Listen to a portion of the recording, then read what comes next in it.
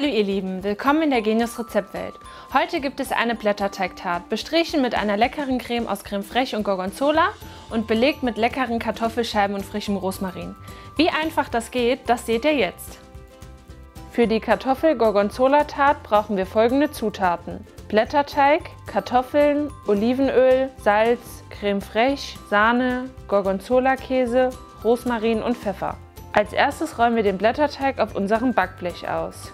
Jetzt schneiden wir mit einem Messer am Rand entlang, damit der Rand nachher schön aufgeht.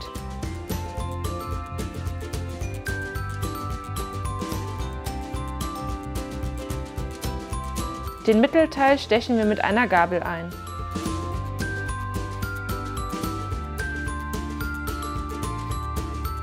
Als nächstes schneiden wir die Kartoffel mit dem Nicer Dicer Fusion in ganz feine Scheiben.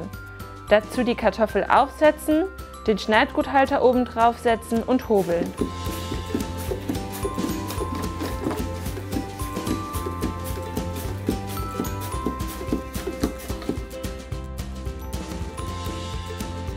Zu den Kartoffelscheiben geben wir das Olivenöl und das Salz und vermengen alles.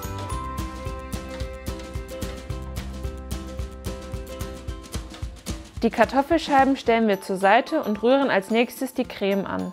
Dazu geben wir Creme fraiche, die Sahne und den Gorgonzola-Käse in eine Schale. Das Ganze wird vermengt und der Käse etwas zerdrückt.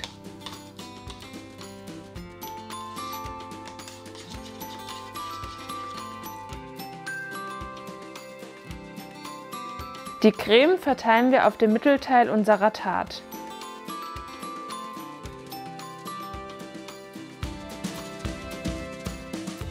Die Gorgonzola-Stückchen in der Creme schmelzen nachher schön.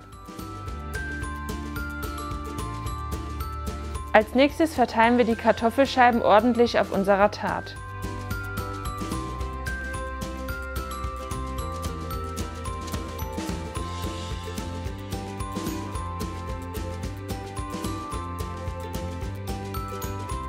Darauf geben wir unseren Rosmarin und etwas Pfeffer.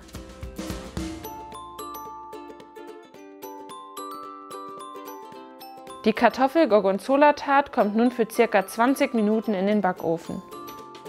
Frisch aus dem Ofen und super knusprig und fertig ist die leckere Tat mit Kartoffeln und Gorgonzola. Viel Spaß beim Nachmachen, eure Rebecca.